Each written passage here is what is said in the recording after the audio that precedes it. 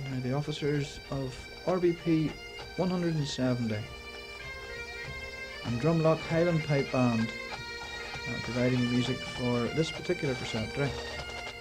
We can just see the banner being lifted by the wind there as it passes.